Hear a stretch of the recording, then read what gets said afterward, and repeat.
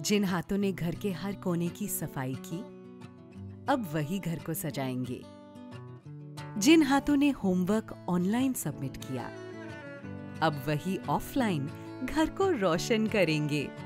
जिन्होंने किचन में पहली बार कदम रखा, अब वही कुछ मीठा बनाएँगे, क्योंकि इस फेस्टिव सीज़न सेलिब्रेशंस तो बनती हैं।